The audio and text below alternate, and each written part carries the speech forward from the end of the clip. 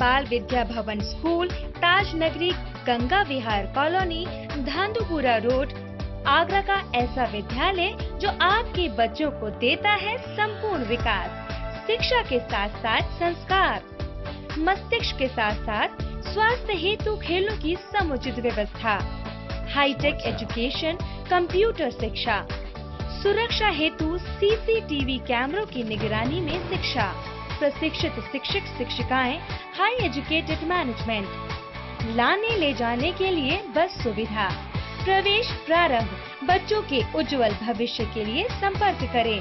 Bharatiya Bal Vidya Bhavan school, Ganga Vihar colony, Dhandhupura road, Agra.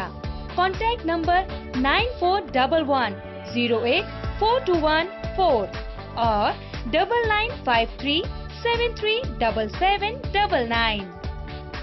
बड़ी संख्या में आज सिंधी सेंट्रल पंचायत के मुखिया ब्रह्मदास जाजी के नेतृत्व में निकले हैं और यहाँ पर विभिन्न सामाजिक संस्थाओं के लोग सारे साथ में निकले हैं।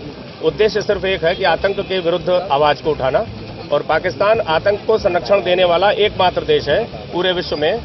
और हमारी यही सिर्फ़ एक मांग है कि पाकिस्तान को अलग थलग किया जाए और इसमें मोदी जी बहुत प्रभावी काम कर रहे हैं। हम आज उनको भी धन्यवाद देना चाहते हैं कि अंतर्राष्ट्रीय मंच पर उन्होंने पाकिस्तान को बेनकाब किया है।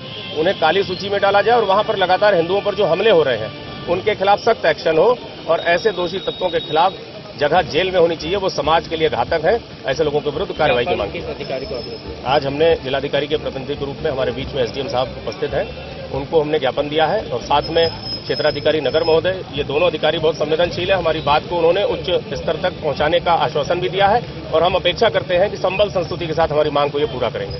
अपनी तरफ़ से सिंधी समाज को इस चीज़ की बधाई दूँगा कि इतनी बरसात में भी वो अपने समाज के लिए खड़े हुए हैं। सब लोग डट कर खड़े हुए हैं। उसके बाद जो भी इन लोगों ने मांगे दी हैं, वो एक पूरे कम्युनिटी के लिए हैं, जो उचित माध्यम से पहुँचा दी जाएँगी, जल्दी से जल्दी पहुँचा दी जाएँगी।